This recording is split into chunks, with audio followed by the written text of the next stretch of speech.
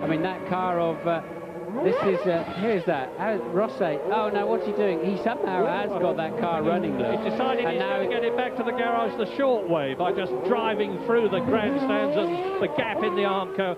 I hate to say this, but a lot of people here are really debating whether Ricardo Rosset is Formula One material.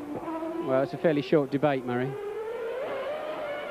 End of message. And, uh, three, three minutes to go.